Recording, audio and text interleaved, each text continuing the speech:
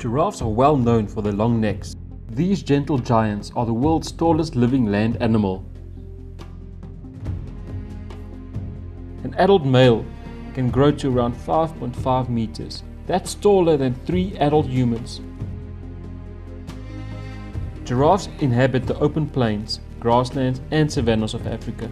They are most common in South and East Africa, but smaller, more isolated populations live in Western and Central Africa.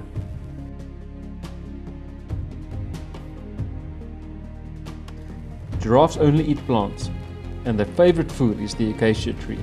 Their long tongues, which can grow to a whopping 53 centimeters, also helps them pull down leaves growing way up high.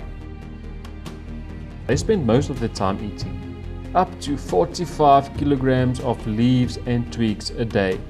They may eat a lot, but they don't drink that much water. They get most of their water from the leaves they consume. They only need to drink once every few days. The hair-covered horns on a giraffe are called ossicones. The male's ossicones are bald on the top, where females are covered with hair. As crazy as it may sound, giraffes actually have the same number of neck vertebrae as humans. Just seven. Unlike quadrupeds, like horses, giraffes walk by moving both legs on the same side of their body together. Left front and left hind legs first, and then the right. They will most likely run from an attack rather than fight.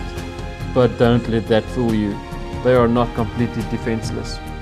One kick from one of their long legs can do serious damage, or even kill.